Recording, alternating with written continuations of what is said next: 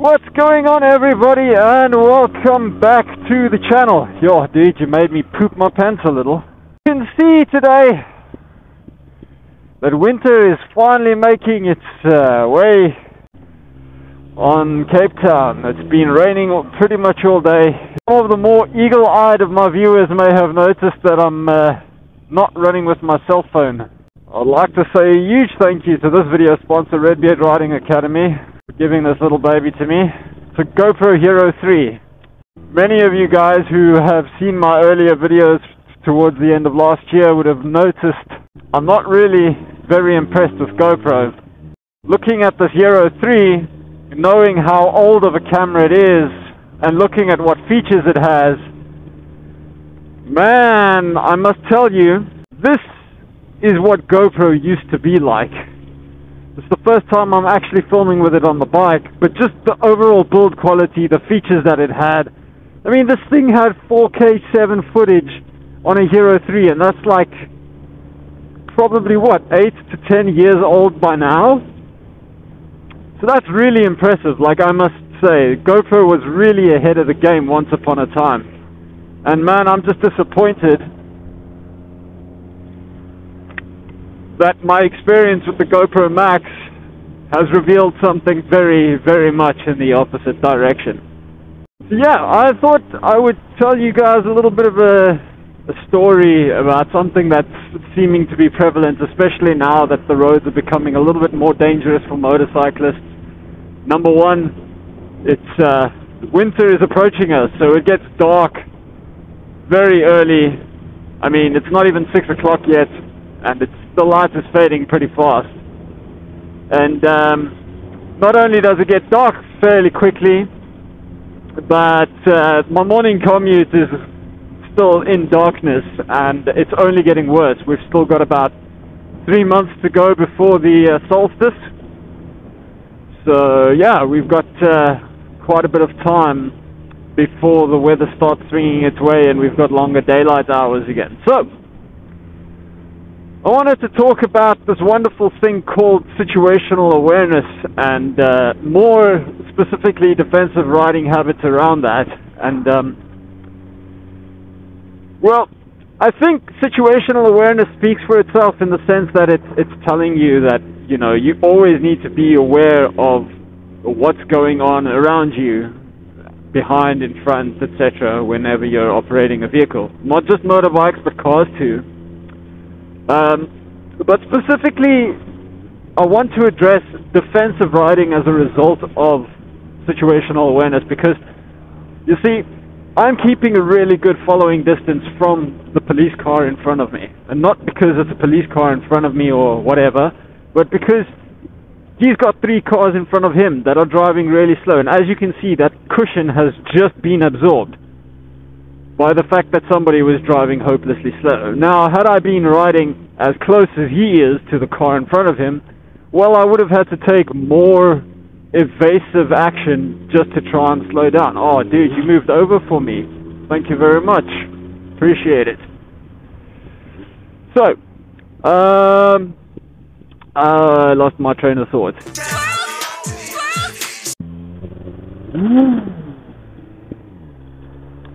oh, this damn second gear.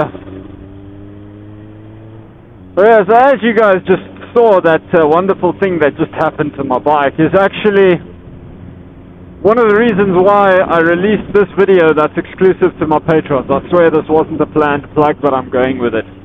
So if you want to check out this video, Check the links in the description, become a patron, support this channel, you get early access and exclusive access to my content. So what I was saying about uh, your, your defensive riding is that you always want to be in a position where whenever something crazy is going to happen on the road, be it somebody driving like a clown, or somebody slamming on brakes, or whatever the case may be, you've got yourself enough space to react as minimally as possible. Example, instead of riding right up to this guy's backside and then having to swerve or change lanes, I could just roll off the throttle. As I see that that distance between him and I is shortening, I can just roll off the throttle. I can make my moves more minimal in order for me to make sure that I'm safe whilst I'm on the roads by paying attention to everything that's ahead and behind of me. And basically, that's pretty much it. um, you know, the the important part about riding a bike or even a car, like I, I don't I don't know how to stress it enough, but this concepts that I follow when I'm riding on a motorbike is the exact same things that I tend to follow when I'm driving in a car. So, you know, like this vehicle that's here might decide to cross lanes. So instead of staying in the left of my lane, I'll move over to the middle or the very right. Obviously, I'm going around a blind corner, so I'm going to do my best not to let my mirror or my shoulders or any part of me or the bike cross over that center white line. Now as I'm coming here, I notice the road straightens out. There's a taxi moving nice and slowly up ahead. So there's a good chance that that guy is going to move in front of me. So I let him go.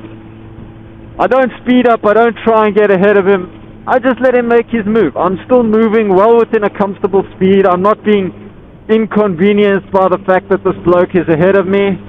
And, um, well, I see he won't move over because of the other car ahead of him, which is fine. I predict that. I wait, I take it easy, I let him pass, and guaranteed, once he's passed, he'll move over for me. Look at that! Look at that. It's like I'm psychic, man. Now we come up here, fast and easy. Thank you very much, buddy. Appreciate you. And off we go. And that's all there is to it. It's as easy as just guessing what's going to lie around the next corner, what the cars ahead of you are going to do. Look at that beautiful view. I'm a poet and I doesn't know it. Oh. And then just taking it nice and easy and making sure you look after your own interests while you're out on the bike. Oh, see, there's a, there's a very dangerous problem here. And, uh,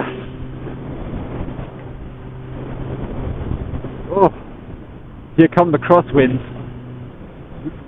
Brace for it.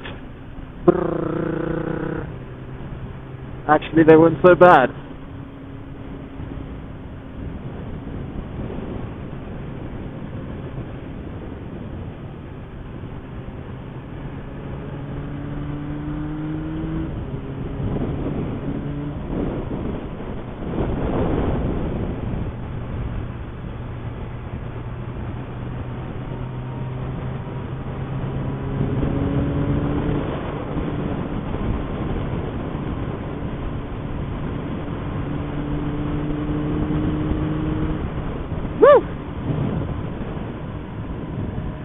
Oh, it feels good, man. Oh, it feels good. So you'll see now, there was nothing in front of me, so I went at a pace that was reasonable for the conditions. There's vehicles ahead of me again. I'm slowing down, nice and easy. Slowing down a lot more, and we're riding 60 and 100. That's okay. It's okay. We'll just be patient both of them will nah nah. I reckon the the polo will go straight try and pass and then move over for me.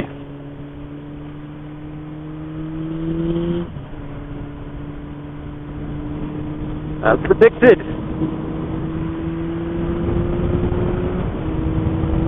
Thank you very much people. Now that's pretty much the best way that you're going to stay safe out on the roads. And I mean, this applies when you're doing open road traveling, when you're sitting in traffic, when you're lane splitting.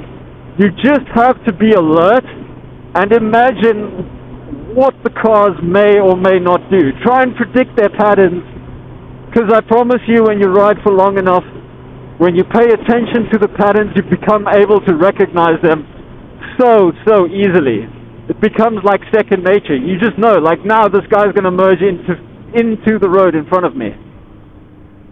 Oh, it left indicator, cool.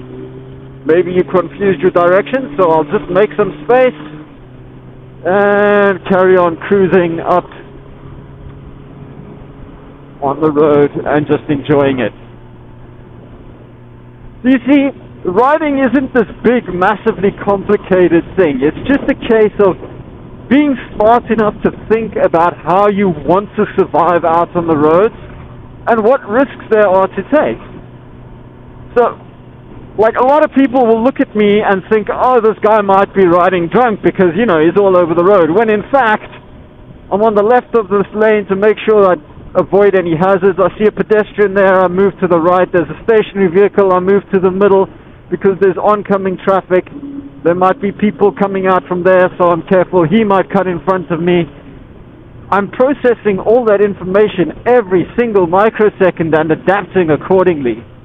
I don't just go, oh shit, I'm gonna crash! Ah! I react. I enforce the behavior and I force Beastie to go where I want him to go.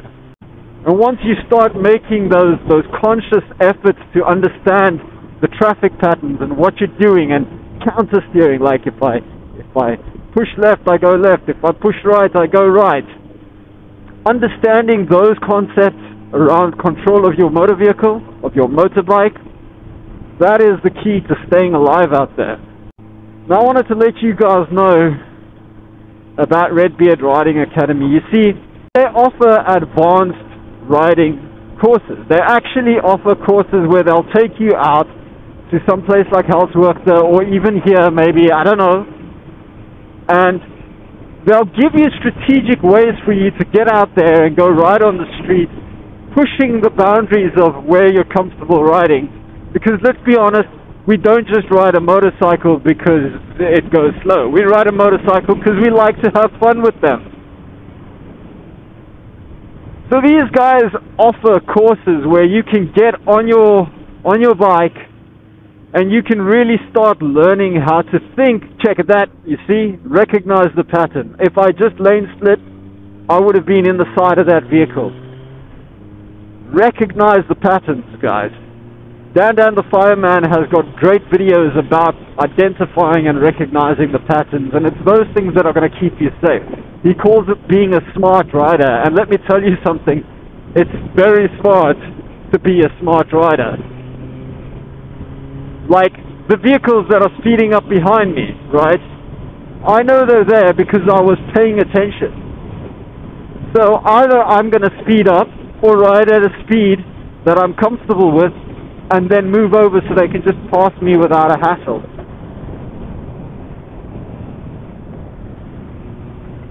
But Redbeard Riding Academy will teach you these things. So if you want to check them out and you really want to get your riding to a safer level where you're less likely to get into stupid accidents on the street, go check out the links in the description. Go support them. They're really good at what they're doing. And they really love bikes.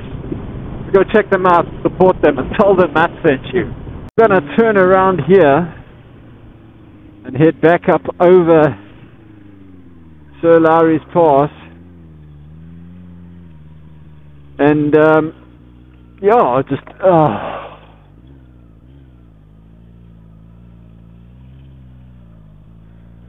You're gonna take it easy.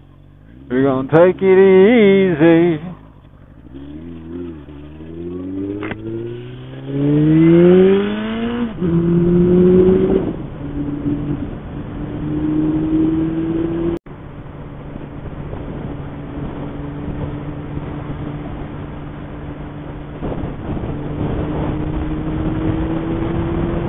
Now imagine if I had maintained my speed before passing that guy with that taxi in the oncoming lane.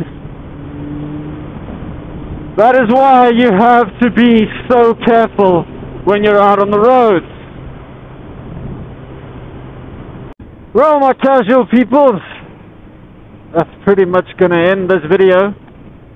And I do hope you enjoyed it. I hope you learned a little something maybe share it with a friend who you think could use a pointer or two about staying safe out there. Remember to check out my sponsor, Redbeard Riding Academy, links in the description. Check out my Patreon page for exclusive and early content, link in the description as well. And I want to say a huge shout out to my patrons for supporting this channel. You guys mean a lot to me, and your support really does go a long way. If you can't help out financially, just do me a favor, give this video a thumbs up, subscribe to the channel. It doesn't cost you anything, and it goes a long way in supporting me. Life is going to throw a ton at you, as always. But whatever it does, just remember, don't look down, look ahead. And until next time, people, ride safe.